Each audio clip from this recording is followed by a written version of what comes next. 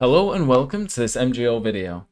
Today I'm going to show you um, the changes with the recent emulator update in regards to how you use your controller because the emulator did change things that I didn't know about, you may not have known about. I didn't make this video right away because I was finding things, I was finding a few things here and there and I wasn't even aware of the things right away. You know, sometimes you have to use the emulator for a while to find these things.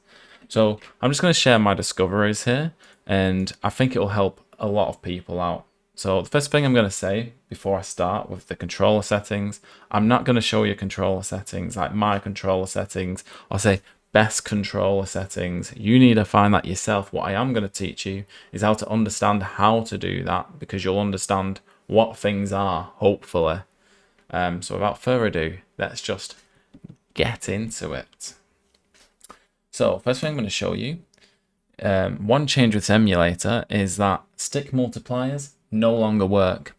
Um, now you may have noticed that you had experienced run bug when you hadn't before, before the emulator update. That's because your stick multiplier setting you set on your previous update didn't work. If you don't know what the fuck I'm talking about, just watch this. It'll make sense about the stick multipliers bit. So I'm going to set these to um, zero. So in theory, when I move my analog sticks now, um, you know, I shouldn't be able to move. So I'm going to save that. Let's see what happens. I'm able to move, move the camera. Clearly, stick multipliers no longer works. The only way to bypass that is if you use something like DS4 Windows, which has its own, you know, control settings and sensitivity settings, or DS4 Windows, or you use something like Steam, um, which is what I'd normally use on my operating system, but I'm having issues with that. So basically I've got none of these options, but if you're on Windows, those two options should work great. Uh, the next thing I need to show you, so I'm just going to set this back, even though it doesn't make a difference, I've tried all sorts of settings, is the squircle values. So this is something I've not often thought about before, but I think it's important to think about the squircle values. Um, so normally with a controller, it outputs in a circle. So if you watch RPCS 3 and you watch what I'm doing with my analog at the same time, you'll see this blue dot that you see here, as you can see, it's going all around in a circle. That's normal behavior for a modern controller. However, DualShock 3 outputs in a square. That means that your corner output with a DualShock 3 controller is different to most modern controllers. And this is where Squircle gets involved. So I'm going to show this with the left stick first. Um, actually, yeah, it's the same with the right stick, I'm going to show it with the left stick.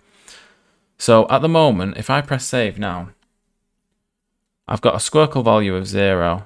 So, but you can see with a Squircle value of zero, I sometimes end up walking when I go diagonal.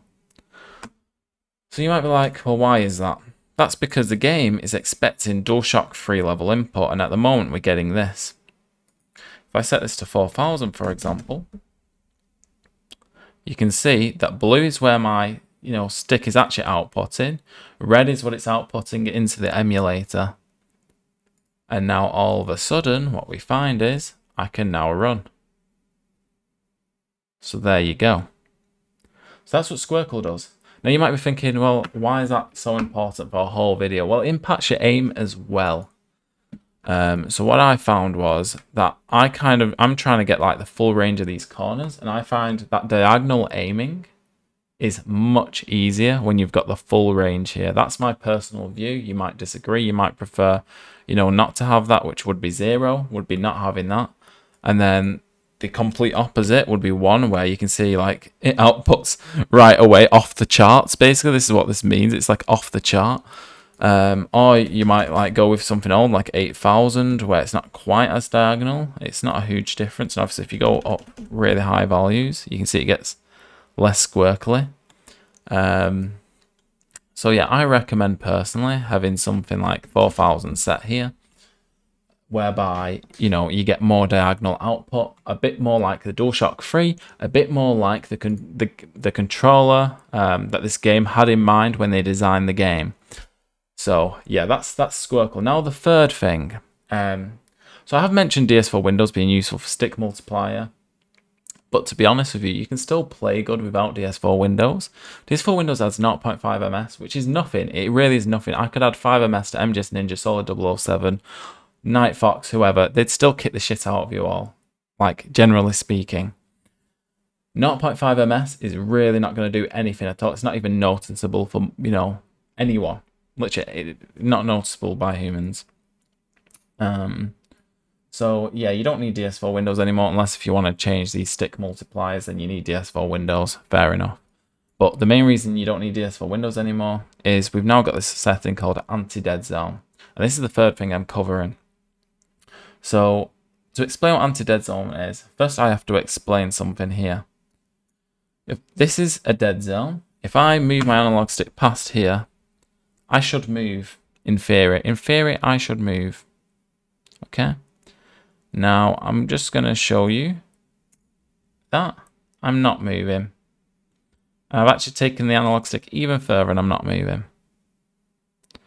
So you can see here, I don't move. Okay, it's a bit shaky that. So we're going to try, in fact, let's, let's try something like this. There we go. That's easier. I'm not moving anywhere. So that's telling us that no matter what dead zone I set, I won't move. Simple as that.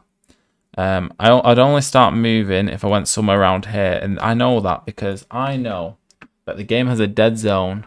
It's hard-coded in itself. So whatever I set here does not work. Until we got anti-dead zone on here applied. So I'm going to set something high because I don't know roughly when you'd start walking. So now what you'll see is blue is where my analogs actually is. Red is what it's actually outputting. So if I save that now, I'm walking. It's rough, roughly there. But um, yeah, even if it's here, which is what I initially had, it, it would start walking. that's what anti-dead zone does really. It bypasses the dead zone set in the game. So when I set my dead zone, like in Call of Duty to 5%, so I want 5% analog stick movement. So like something like this, start moving my character. Okay, something like this.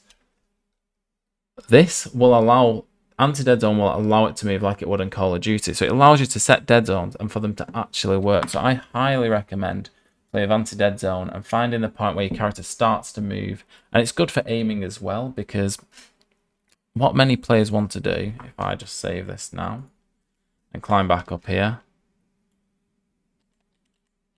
Um, what many uh, play, what you want to do is kind of find a point in your mind where when you move this right stick, you want your character to move. So I'm, I'm actually going to do it with pad screen open here.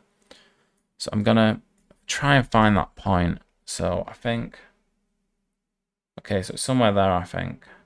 Somewhere around about there. So we're saying somewhere there, okay? Now, this won't alone work. So if I was to hold this, I'm going to try and hold this with my cheek bone here you can see my camera's not moving. And this time I managed to hold it perfectly, so there we are. But if I do this, my camera's moving. So, anti-dead zone makes your dead zone work by setting what I call, personally what I call, a minimum input. Because once I get past the dead zone, it's it, it's giving the game this minimum value so that it knows my camera needs to move when I've got past here. So that's anti-dead zone explained. Now there's one more thing I have to explain. Obviously there are controller settings in RPCS 3. You're also going to have to look at trying different values here, like, you know, in your over-the-shoulder normal view. Again, I'm not recommending values because everyone is different in what they control. Even the values I've got here are just like for testing. They're not even the values I use, so do not copy them. It's stupid and retarded to do so. Um, now, what I wanted to say was that if you find that before you're having to aim at someone, you're having to readjust all the time, and you think that you can never get over that barrier, you can never master that, your control settings are probably not good. So what I mean is, let's say I always just go and headshot this guy in the center. But let's say I've just gone in a fight where I've had to headshot a guy crouched, and then I'm finding myself having to lift this up. If I'm having to readjust this a few times, rather than just one stroke and then going bang, bang, bang, in a live mixed game or res because you don't know from from a solo train. You have to go in a proper game with players to test your aim. So like TDM, uh, mix, something like that are probably the best things. You need to go into those and test your settings, and you'll probably readjust whilst you're in the game. There's no avoiding that, absolutely not. Um, but anyway, what what was I gonna say now? Yeah, so that's kind of the thing. So make sure that whatever you're setting you set, you're not having to adjust before you aim because then it's probably not good. And that pretty much summarizes this video. I hope it explains some things that changed with the emulator, with the anti-dead zone specifically, and the stick multiplier not working. Those are the two things that changed. I think a lot of people don't necessarily know that. So I think this will be a, a really helpful video for people. And that's it, folks. See you around, and I hope that helps.